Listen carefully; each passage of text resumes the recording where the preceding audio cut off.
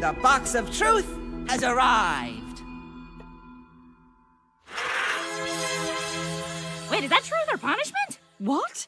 No, no, no, no. This is the box of truth. That, my friend, is truth or punishment. We played it at my sleepover. You played it? The box is not a game. Who do you have a crush on? Uh, uh, Queen Moon! Uh, uh, Ugh, it must be on the wrong setting. We need to talk. All right, ladies, are you prepare for judgment? The rules are simple. Each member of the Magical High Commission shall ask one question, and the accused must answer.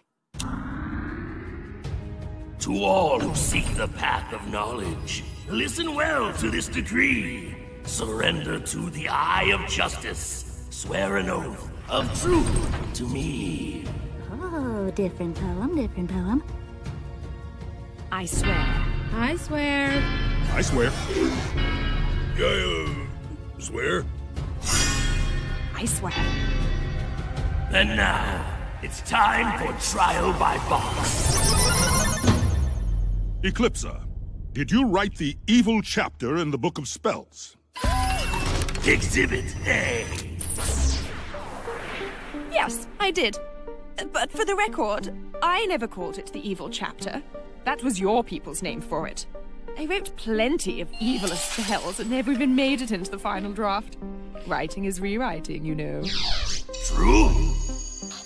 Ugh, whatever. Have you guys even read her chapter? Hekapoo, the second question goes to you.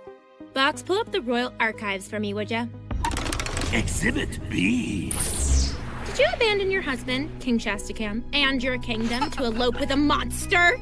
Oh, Hello, sweetie. Yes, I did run off with a monster.